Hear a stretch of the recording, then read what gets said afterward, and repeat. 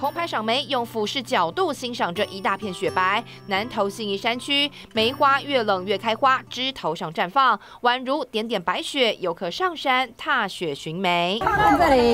花期进入尾声，就算没看到梅花，冷冽天气也有机会迎来雪景。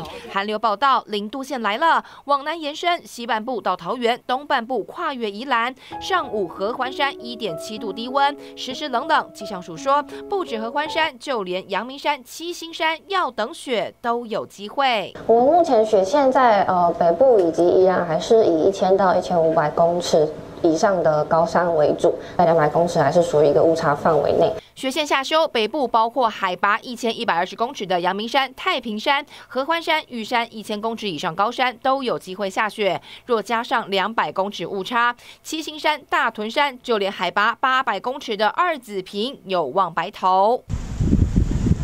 今年以来最强寒流报道，中部以北低温七到八度，沿海地区还会更冷。预估苗栗周二体感温度零下一度，是否能重现当年霸王寒流威力，就等这一波。界中部综合报道。